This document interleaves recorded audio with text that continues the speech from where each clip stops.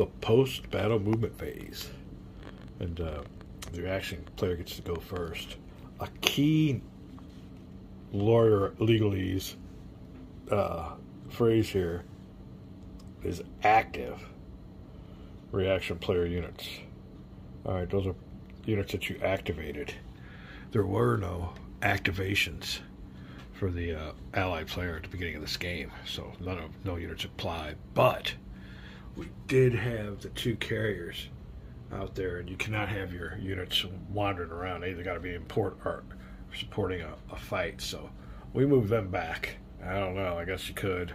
They, I guess they were the only active units that were for the U.S. But other than that, there really ain't any active units here for the U.S. player. So, uh, and another thing is, if I did have a allied player or reaction player unit in a hex that was controlled by the uh, offensive player, then I'd have to move them out for an emergency. I don't emergency movement, uh, naval movement. I don't have that, but that does apply to them. So as far as the uh, reaction naval movement post battle for the uh, reaction player, we just moved the carriers back to Pearl. I guess that's what it's all about. We'll see here. Let me look here real quick if there's anything past that. Oh, come on, come on, come on. We got, we got an audience here waiting. All right, let's see here. Resolve all battles and play any attack reaction cards. Players can conduct both post battle movement. All necessary naval are emergency movements. Oh, so that's a whole nother phase. All right, well, the allied player won't have, or the allied player won't have any post battle movements, except by the uh, ships going back to Pearl. Now we'll go back to the we'll go to the uh, offensive player. We'll see what we want to do. I don't think we got any units. We got units at airfield, so that's fine. They don't have to go anywhere else. If I want to move them around, I guess I could. Let me look at the rules. We'll be right back. All right, let's see here after reaction, post battle movement. Oh. After action post battle movement, all active offensive air units may conduct post. Battle. Oh, after this player. Okay, after this player does, and this player does. That's what it is. All active offensive air units, and then all active, the ones that have been activated, air and naval units may conduct post battle movement. So I think I will. There's some units up here that are at their airfields now. If they can move to another one, and what's the procedure on that? Back. All right. Well, there is a deal here about emergency movement if the inactive reaction player has units in an area that's occupied by another. I think I'll look underneath that for emergency movement, but it doesn't have anything underneath here. Huh. Just tells us we can move. That's about it. Any active active units can move. Huh. I'll have to check that out. I guess they're required. They're gonna have to get out of there. We'll be back. All right, I'm on low battery, so it's gonna be quick. Um, it doesn't really specify. It doesn't specify at all. I guess the units could stay there, but it's not a port in a friendly controlled hex, so they gotta leave. All right, you got these units here, which is the ground unit there. They have to end their movement at a friendly controlled port, so they gotta move. They gotta get out of there. That's all there is to it. Now these units here that are by them. Wow, he's on it. Yeah, these units here, these units here, all three of these units got to leave because they're not ending their movement in a friendly controlled port. The port is still controlled by the enemy. So that's what we'll have to do. That'll be fine. That's, I'm glad I just came up with that because there's nothing like that rules. We'll be right back. All right, then. Number one will be the oh Ryujo. And we'll move him 15. 1, 2, 3, 4, 5, 6, 7, 8, 9, 10, 11, 12, 13, 14. Stacking limit for uh, naval units is 6. So we have 1, 2, 3, 4 here. We'll see if we move any more. Be back. I think I'm going to keep these cruisers with local. So we'll put those right here at the Palau Islands. There you go. We'll just I'll keep like this. It's fine for now. Uh, who else? Next, we have to evacuate the spot here at Latte. These war cruisers, I think we'll do the same thing. Oh, it's a big battleship though. Well, we'll keep we want to keep these guys close for this more operations we got going on in this area. So we'll keep him here. He'll retreat to that spot. Got a carrier up here. Has to find some place to go within 15 hexes. We'll be right back. All right, 13 hexes away was our new spot at Wake. So we have one, two, three, four, five. One away from stacking limits on Wake. We have one more unit here that has to exit because he is in a non-controlled area. It is a battleship and a cruiser. We'll be right back. All right, we'll keep them local too, so those move right across the bay here to Tannen. And they will stop. Alright. Now I can move any activated units. These guys had to get out of there, so now I can move my aircraft around and stuff like that. Oops, hold on a second. He can get over there like this. There you go. Alright. Remember the mandatory uh, moves. I still got carriers up here. I might want to. Oh, he wasn't activated. All right, activated has to be the key. So there you go. That to be activated. We will uh, maybe. I can't move ground units. Let me see. We'll be right back. Whoa. After reaction, post battle movement, all active. Well, after reaction, post battle movement. Oh, that was these guys. That also throws me off. Uh, after reaction, player moves, all offensive air units. Uh, after reaction, post battle movement, all active offensive air and naval units may conduct post battle movement. So it's only for the air units and the naval units. Uh, ground units don't apply. We do have some spots with some air units that were activated that we might want to reposition. That would be that group here, or maybe this one over here. We got one that's there too, so we will see what we want to do with that. We'll be right back. All right, continuing here, some post IAI operations. And all we got left to do now is to move the, the air units up in the air, the ones that are uh, available for movement. The air, air units have been active.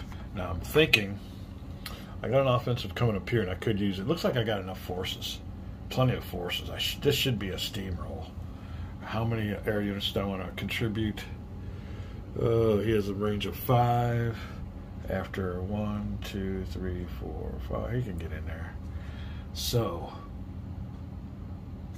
these units here, I think are just going to be used for the next phase coming down this way against the Philippines.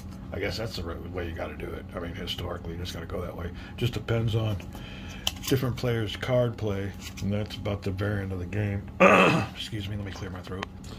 All right, talking too much. uh, oh, here you, here you go.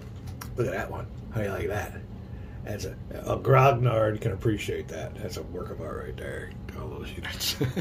so, uh, all right. What are we going to do? What are we going to do? And we have another unit over here, but I think we'll keep him within range.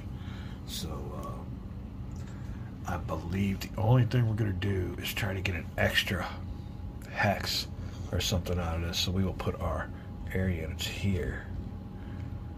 Flip them around the right way. Just giving them one extra.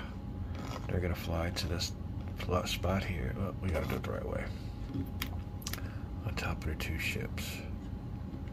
Get it all straightened out for us here. And I think that, oops, we got two two planes that crash landed. All right, I think that's to be it. Let me look at everything here and we'll get you straightened out. We'll be right back. All right, then. After everything is completed, this card is done we're finished with it. Uh, hold on a second here. Let me take a little cough break. All right, here's look at the map. Like I said, oh, I don't want to say that again. Like I mentioned earlier. Here's what our battle hexes were, and the units are pretty well whittled down. Uh, I guess we had a naval air offensive on the Philippines before we could move any infantry on in. We took care of Hong Kong, and we're moving up around uh, Vietnam, around Bangkok, I guess Thailand, Burma, up around here. But there you go. Everybody's ready to go, set. big force out here Wake coming on in. Now, I did move the carriers back out here because uh, we, we got a little bit ahead of ourselves. Uh, at the end, and you'll go back here to the scenario. Go back out here to the scenario. And I just seen this and it just crossed my mind. They got us all taken care of though. Uh, here you go. So it gives you a lot of explanations about this card. So look at this card and then look at the scenario. It tells you. There's says within five continuous. And it's basically what they say here, but a little bit more expanded. But what's key is down here. We're done with this card now. At the conclusion of the IAI, the Allies get a one-time emergency naval move for all their naval units. Huh. After this Allied, after the Allied action finish out the remaining phase of the turn, except the attrition phase, and then start normal play. So there you go. We will do that. All the Allied naval units get to have an emergency naval movement. We'll be right back. All right, then that's basically for as for our two carriers out here. So we'll go ahead and do it. We did it earlier, but now we're doing according to procedure. And it is a one-time movement for all naval units.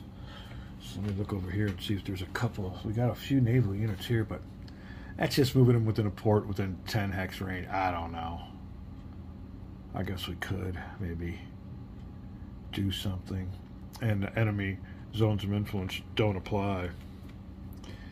Oh, skip attrition and start a normal play. We might take advantage of that.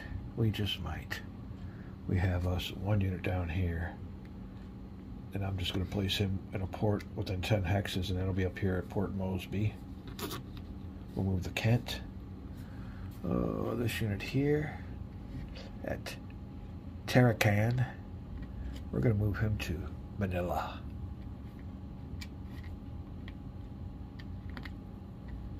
definitely within 10 hexes. And, and these are chump change little little scuttleboats, but it'll give us something. Uh, we got a couple other ones here. Oh, 8 10. 1, 2, 3, 4, 5, 6, 7, 8. Yeah, he can go there. 1, 2, 3, 4, 5, 6, 7. We just placed him there, it says. So we are placing him into Rangoon, because Rangoon is getting bared down on. Oh, we got another one over here. Whoa. All right, hold on. Oh, he's out of range. But this boy, one, two, three, four, five. So, yeah, we will definitely put him in Rangoon also. So, Rangoon's getting built up at the end of our turn here. That'll help, that'll help, that'll help. And then, like I said, we'll be going on to the Erasmus solitaire, solitaire card system. So we'll be checking that out. What do we have? Any more units that can be moved? What do I do with him? He'll be all right there. You know what, though? Let's move him. Yeah, we got all hands on deck. Everybody gets moved. There don't need to be. He will move 10. Uh, 1, 2, 3, 4, 5, 6, 7, 8. I guess it don't matter. Yeah, we'll just move him there just to get closer to the action. All right, that is it. All right, we'll skip the attrition phase. Am I forgetting anything? I don't think so. Oh, go over here at offensives. Uh, players conduct post-battle movement. Reaction player, player first. Conduct all necessary emergency naval movements. Bam. I think that's it. Step 14. We are back to a new turn. All right, let me do some. Let me see. It's turn number two. All right. Japanese go back to zero. They have seven amphibious shipping points left. They will reset. Oops, sorry about that. Move down here.